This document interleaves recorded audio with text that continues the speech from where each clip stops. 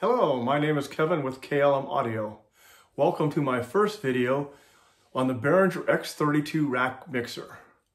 We will begin the series getting sound from our Behringer X32 rack. We will look at connecting an MP3 player and a dynamic microphone to the mixer for our sound. We will connect to the iPad, X32 Edit for the computer, and to the iPhone with the MXQ personal monitor mix.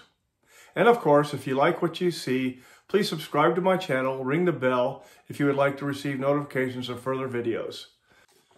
First things first, we'll turn the power on to our X32 rack.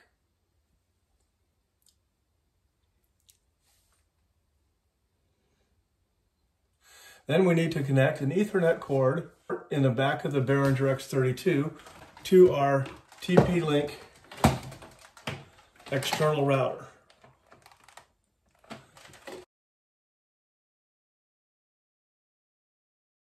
Unlike the XR18, which has a built-in router where you can use the access point, the X32 rack does not have a router and you must use an external router.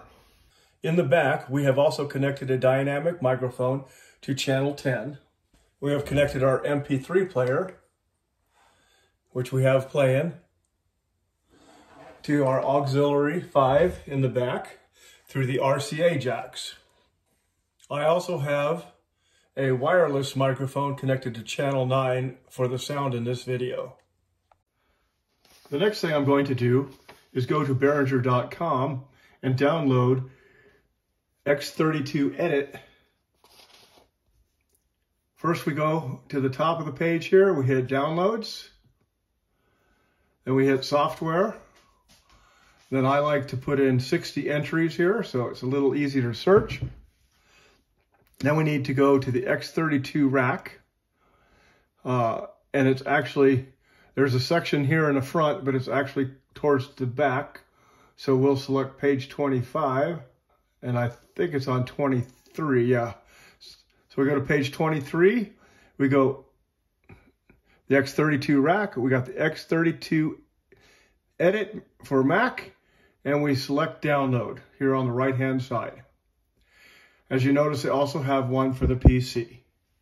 The next thing you need to do is load X32 Edit onto your computer. As you can see, I have it here in my sidebar. I'll click onto it. And it automatically connects to my 32 rack because I've already set it up. But let's look and see how I did that. We go over here to the top right and select Settings. And in here, you can see here's my mixer on my IPS address 103. You want to make sure your sync direction here is connected from mixer to PC. I highly recommend that you select Auto Connect. That way, every time you open X32 Edit, your mixer will automatically connect. Also take note of the version of edit is 4.4.1, which is a current version, and also on the mixer, which is 1 4.13, which is also the most current version. If you do not have the most current version, go to Behringer.com and download those firmwares. The other thing you will notice is I already have some colors and labels selected for my channels here. Let's go up to 132 and I'll show you how to do those labels later. Next, let's take a look at the iPad. Let's download the MX Mix app onto your iPad. Then we'll go to settings, go to Wi-Fi, and here we will select the router that we have our mixer connected to, in this case TP-Link. I also recommend that you select auto join here so that if you lose connection, it will automatically rejoin. Really important during a show. Then we back out and we load the MX Mix. As you can see, it's scanning for the channels. And here it has picked up both my X32 rack and my XR18. So we're gonna set the X32 rack and it's going to transfer the parameters. Here again, you can see that I already have my channels pre-labeled. One thing to note, do not try to use the app called X32 Mix. I did this and spent an hour trying to connect the X32 rack. Evidently, this only works for the X32 console. Now, the next thing to do is connect the MXQ personal monitor mix to your iPhone. It's the same procedures we just did for the iPad. One thing to point out in regards to your IP address, you will notice that if you look at one of the addresses, like for my iPhone, the IP address is 192.168.0.100. You switch over to the Mac and the last three change to 101. My iPad is 102. My X32 rack is 103 and my XR18 is 104. You can manually set the IP address if it does not come up automatically. Now that we have everything connected, let's look at getting sound from our mixer. We will look at everything in more detail in our next videos. First, on the face of the X32 rack, there is a channel selector, this area here, with an encoder knob. On the left side, you will see in, aux, bus, DCA, main, and matrix.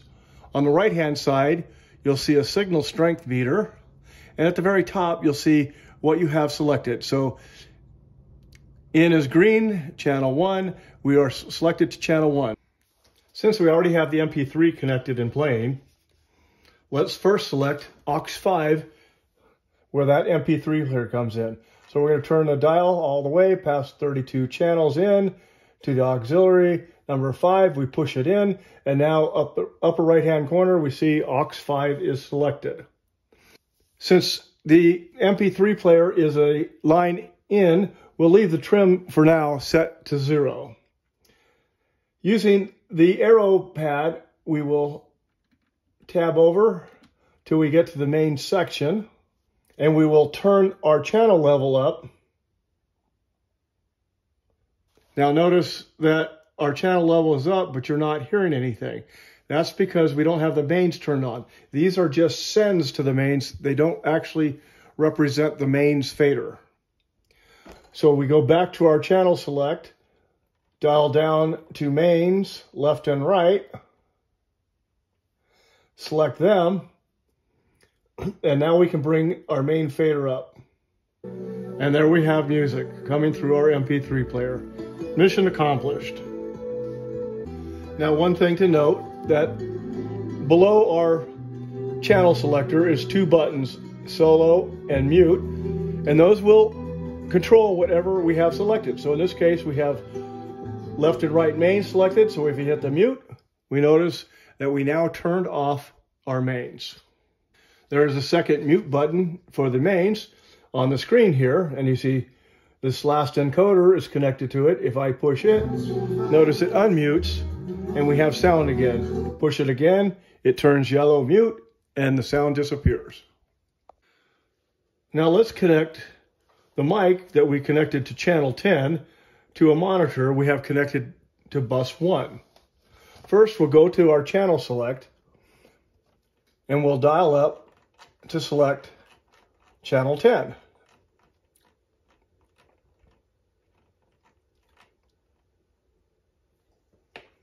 Push in the encoder. It is now connected to the screen. So the next thing, because it's a mic, we need to bring the mic level up, or the gain, so that the mixer can handle it. So what we need to do is use the numbers, come over to either home whoops, home or config. And here's our gain. We'll dial it up as we're speaking into the microphone. Check, check, check one, two, check one, two, check one, two, check, check, check one, two, check one, two, check one, two, check, check, check one, two, check one, two. There's a good level. We've got green, but no yellow, and definitely no red. Now that we've got this gain set, we'll tab over to the sends, and you'll see here that there is a circle around four of the monitors. If I push in the first encoder here, it'll scroll between each four. So here we got the first four collected. Here's level for bus one, and we'll raise the bus. And notice we still don't have sound. That's just because we're sending, this is the fader, we're sending channel 10 to bus one. Then we have to go back over to our encoder here and select bus one. So come down here to bus one, select it. Once we have bus one selected, we'll dial up our channel level for the bus. This is the bus fader right now because we're connected to the bus. And there we have sound coming from our microphone. Now if we go back to our mains,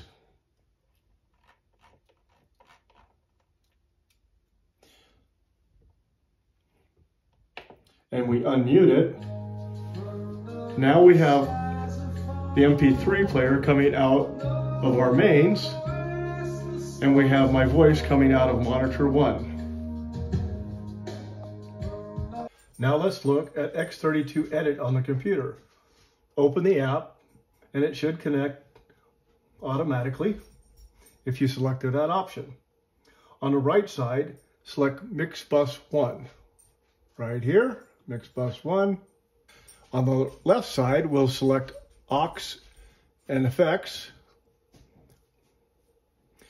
We'll come over to aux 5 where we have our iPod and we'll raise that slide. And there we have sound coming from our iPod going out our mains.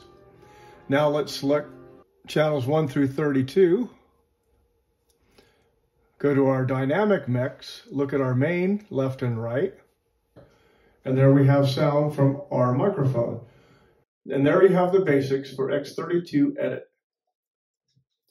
We'll explore much more in the future. Now let's take a quick look at MX Mix on our iPad.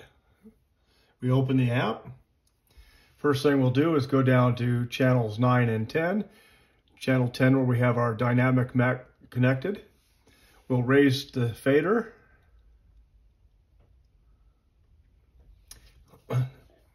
We'll unmute our mains.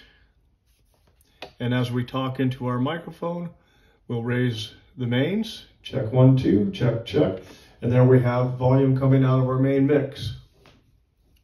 We'll mute the main. Let's go to our buses. Bus one is where our mix is at. We'll raise the bus up.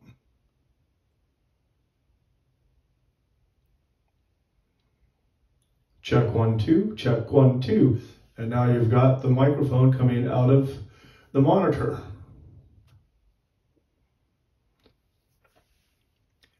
Of course, there are a lot more things you can do on this app, and we'll research those in the future. The second thing I've noticed is that the MX Mix on your iPad does not have the ability to do any routing. You have to do your routing either on X32 Edit or on the face of the M32 rack. Now let's look at the MXQ monitor mix on our iPhone. We'll go ahead and select the mixer. We've already got the Wi-Fi selected to our TP-Link external router and it connects automatically. We can choose our mix bus, whichever one we want. In this case, we are using mix bus one and we want to check select mixer over here and here you will have all our channels and if we go over to our auxiliary 5 where we've got our iPod we'll go ahead and raise the channel. And there you go. You have sound on your music. Now let's scroll over to channel 10 where we have our microphone connected. Check one two check check. Check one, two, check, check. Check one, two, there we have it. You can now create your own monitor mix on stage on your own phone without the assistance of the sound guy. Now you have all your devices connected and working. So that is my presentation on getting started with the Behringer X32 rack. Again, if you enjoyed this video, please subscribe to the channel and ring my bell to receive further notifications of my next video in the series for the Behringer X32 rack. Thanks. I'm Kevin with KLM Audio.